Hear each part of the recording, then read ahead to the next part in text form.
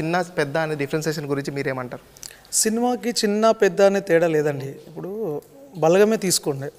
అది చిన్న సినిమాని మొదలైంది. ఎక్కడికి వెళ్ళిపోయింది అది? అది ఇప్పుడు పెద్ద సినిమా.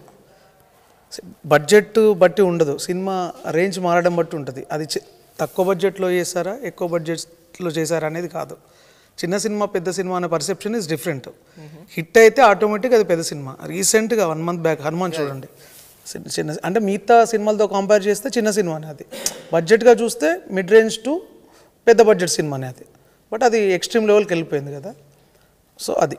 అంటే కాంటెంట్ ఈజ్ అ కింగ్ యాక్చువల్గా. నా పెద్ద అని ఉండదు. మంచి చెడు. అంతే. మంచి cinema good film bad bad film అంతే. కరెక్ట్ యా అంటే ఇప్పుడు చిన్న చిన్న చిన్న పెద్ద డిఫరెన్సియేషన్ చూస్తుంటే ఫస్ట్ రోజు థియేటర్స్ కూడా ఆ సినిమాకి తక్కువ థియేటర్లు వచ్చాయి. తర్వాత పబ్లిక్ రివ్యూ బట్టి థియేటర్స్ పెరుగుతూ పెరుగుతూ వెళ్ళాయి.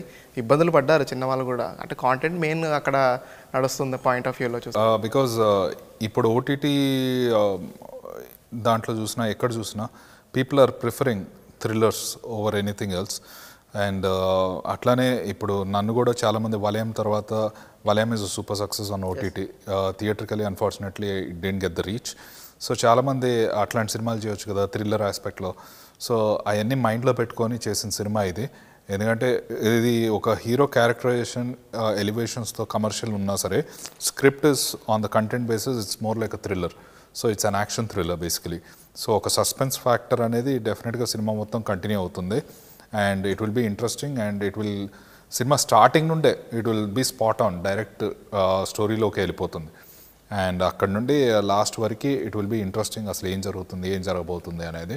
That is of the story is design and at the same time it is very crisp అనమాట ఎక్కువ ల్యాగల్ లేకుండా అది లేకుండా it's not even two hours film it's just one hour fifty eight so very fast ఒక English movie చూసినట్టు ఉంటుందన్నమాట. And మేము అన్నెసెసరీగా ఇక్కడ కమర్షియల్ ఎలిమెంట్స్ యాడ్ చేయడానికి ఒక నాలుగు సాంగ్లు పెడదాం. ఈ అన్నెసెసరీ ఫైట్స్ పెడదాం. అలా ఏం లేదు. This movie has decent amount of fights it has about four fights and two chases అవన్నీ ఉన్నాయి. But end of the day ఈ all this emotions are shown in a very crisp run time అనమాట so it will go like a breeze so డెఫినెట్గా ఒక ఆడియన్కి ఈ రోజుల్లో ఏదైతే థ్రిల్లర్ హారర్ ఇలాంటి ఫిల్మ్స్ బాగా యాక్సెప్ట్ చేస్తున్నారో this movie also will be good for them అని చెప్పేసి.